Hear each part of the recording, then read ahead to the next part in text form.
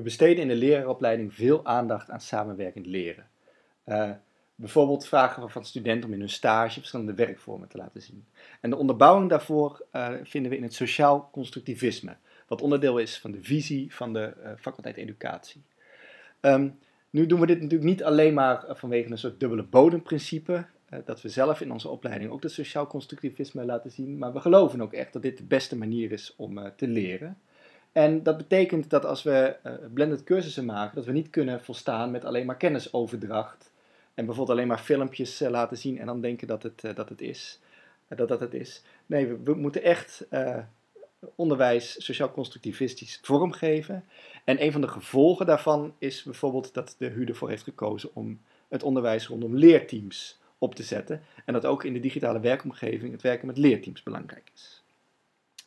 Uh, in dit filmpje gaan we uh, kort even wat theoretische modellen bekijken uh, van het sociaal constructivisme.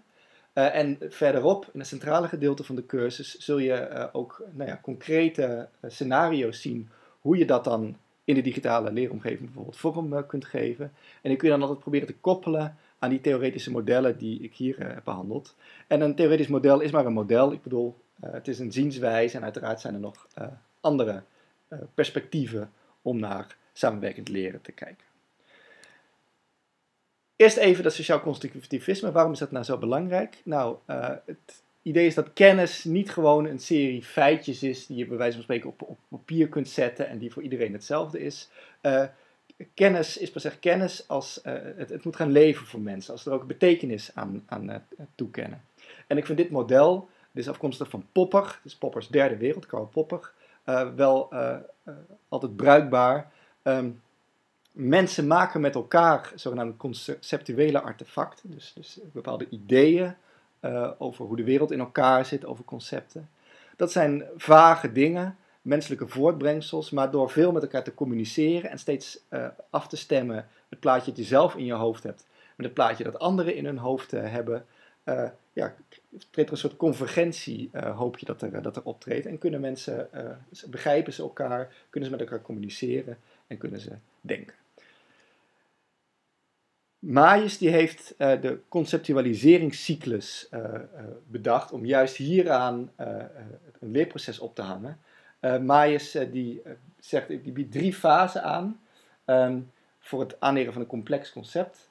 En dat begint met het, het, communiceren met anderen. Dus in de eerste fase word je in contact gebracht met de conceptuele schema's van anderen, bijvoorbeeld de docent of van medestudenten.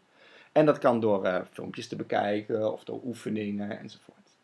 In de tweede fase van Maai's conceptualiseringscyclus worden die concepten vervolgens toegepast in complexe situaties. En in de derde gaat dan de studenten hierover in gesprek met medestudenten uh, om en met de docent om nou ja, te testen of het conceptuele plaatje wat ze hebben uh, in overeenstemming is met dat van anderen. Een ander model is dat van Lorillard, het conversatiemodel. En dit schema hoort daarbij. Er zijn alle mogelijke conversaties en, en, communicatie die er in een leerproces plaatsvindt. Je ziet hier linksboven bijvoorbeeld de docent staan hè, met zijn ideeën. In het midden de lerende en aan de rechterkant uh, andere lerenden. En steeds vindt er een uitwisseling plaats tussen de ideeën die die docent heeft bij bepaalde concepten, de mentale schema's van de lerende, uh, van, andere lerende uh, van andere lerenden. En dat leidt tot dit, dit model, waarin collaboratie een hele belangrijke rol speelt.